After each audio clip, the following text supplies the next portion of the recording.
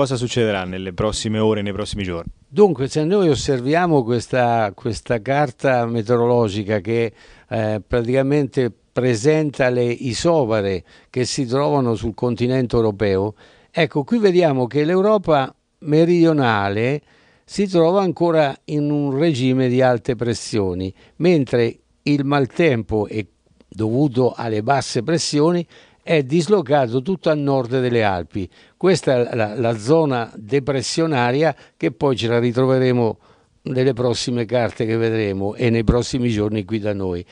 Infatti se vediamo la carta successiva, ecco vediamo come quella stessa area che prima si trovava qua su, adesso si sposta fino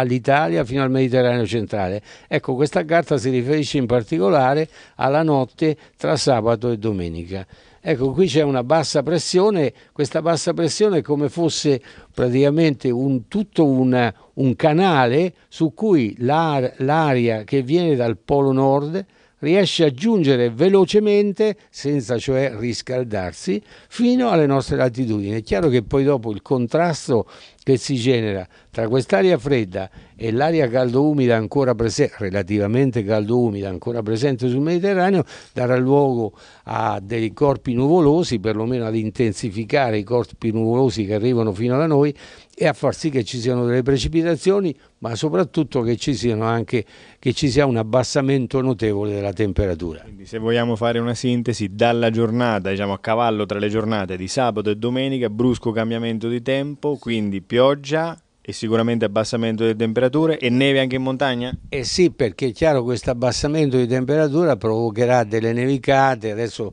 parliamo mediamente intorno agli 800 metri, dopo poi dipende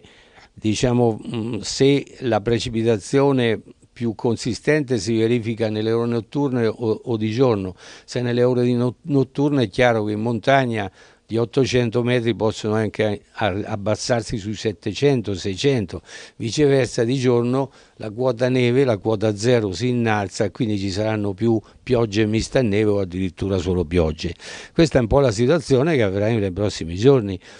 Comunque si vede anche che le temperature saranno più basse della norma, quindi ci sarà un, un salto molto brusco, cioè passeremo da un livello di 5-6 gradi sopra la norma, parlo mediamente, a 3 o 4 gradi sotto la norma, parlo sempre mediamente.